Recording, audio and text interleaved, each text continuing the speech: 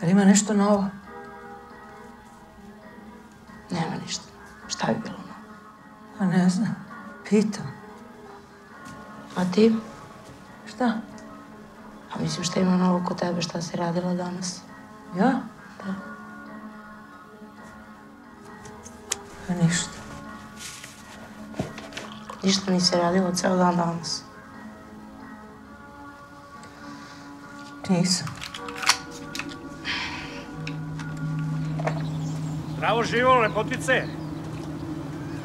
Si dobro? Nemate ovih dana da prođe. Meni muž sahranjen. U petak će godinu dana. Aha. Pa sam htjela da stavim moje ime pored njegovog.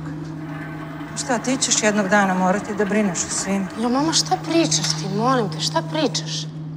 Šta ja kao ne brinem o svim? Šta ti radiš? I, jesi srećna? Ostaćeš baba jebote.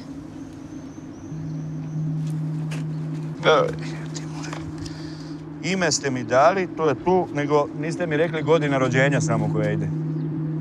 1964. Aha.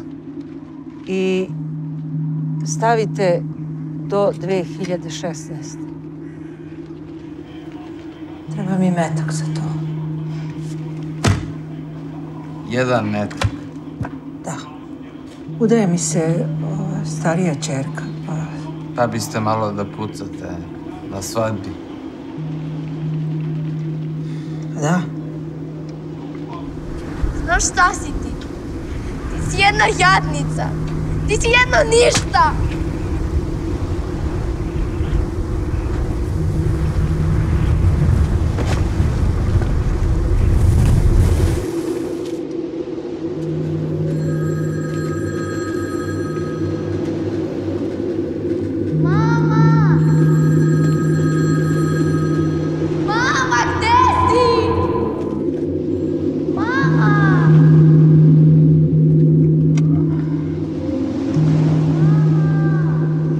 Gospodjo,